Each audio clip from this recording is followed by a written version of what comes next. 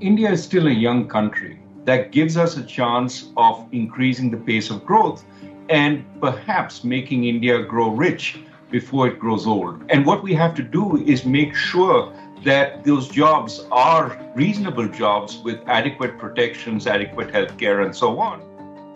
India will spend billions on job creation and training as part of its new budget as it tries to answer frustrations over low employment. But is it enough? I'm joined by Raghuram Rajan, a former governor of, of the Reserve Bank of India, now at the Chicago Booth School of Business. Mr. Rajan, thank you for joining us. Before we get to this budget, you've warned that a lack of jobs across India could squander the country's demographic dividend in the future. What do you mean by that?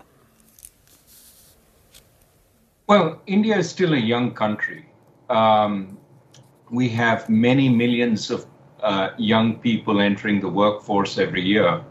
And that could be a boon if all of them get jobs, because that would increase the rate of economic growth, uh, that would, would increase well being. And it's a dividend which lasts only for the next 15 to 20 years, because India, like uh, many other uh, Asian countries, has very limited immigration. So as people get richer, they have fewer kids and the population grows older. So we have a window in which the size of the workforce keeps increasing relative to the people who are not working.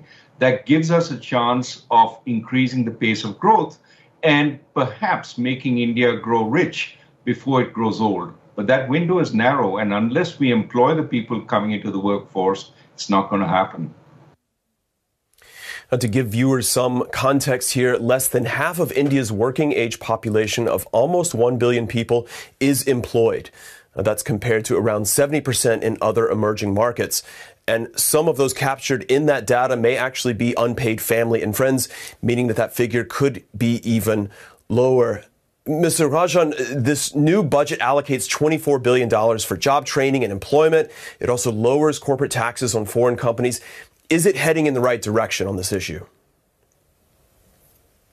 Well, it is heading in the right direction. That is something one cannot dispute. The question is, is it big enough? And and the real uh, issue really is, you know, what is going to work here? I mean, certainly some measures to get companies to invest more in training new workers, in hiring new workers, and holding on to them uh, those certainly uh, make sense, and we have to find ways of uh, of doing that well. I think this budget offers a few measures. We have to see if they work. But we also have to recognize that part of India's problem is while we have a bunch, uh, a segment of workers who are really highly trained, uh, you know, top quality engineers, top quality scientists, uh, we also have a large mass who are not well trained, who haven't been to good schools, who haven't got a decent education. And we have to figure out how to make them employable, which may require a lot of remedial training also. So uh, we need to work on every aspect of this. That's India's challenge. We know that recent governments have really focused on attracting manufacturing. Why hasn't that created more jobs? Well, manufacturing used to be the East Asian way of growth, right? You uh, start with low skilled manufacturing because of low wages. Uh, you attract a lot of foreign direct investment and you cater to global markets. Well, every element there is under threat. Uh, first, uh, you know, the um, what uh, emerging markets now are competing with is not industrial country workers, but other emerging markets who have equally low wages but also with industrial country robots. So, in a sense, uh, the comparative advantage of low wages, low wage workers has gone.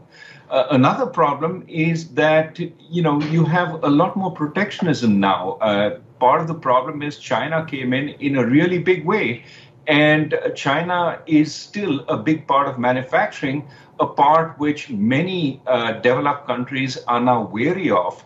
And it's hard to see uh, room for another China sized country. India has 1.4 billion people, for another China sized country coming into manufacturing. So, uh, newly developing uh, countries like, uh, like India have to find a different path for growth. Uh, in fact, you've written that India, uh, unlike China, has missed the bus on manufacturing. Uh, do you really see it as being too late when we know that many countries are, in fact, trying to diversify away from China? Would that not be potentially to India's gain? I, I think that would be to India's gain, and India should attract as many of those flows as it can.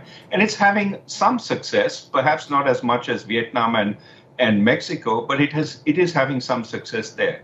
But I think India should play on a couple of other uh, factors. One, it has a large domestic economy. In, a, in two or three years, India's economy will be bigger than both Japan and Germany at the current pace of growth. Uh, so that's one attraction for foreign investors coming into India. But another attraction has to be that India is doing really well in services, including service exports. Many of these are at the higher end, uh, you know, consulting services, IT services, legal services. You know, JP Morgan has 3,000 lawyers in India serving its global businesses. So I, I think that could be another, uh, you know, place for growth. It, it is not going to be a huge employer, but it's going to be a huge foreign exchange earner. Where India has to seek employment is catering a lot more to the domestic market, both for services as well as for manufacturing.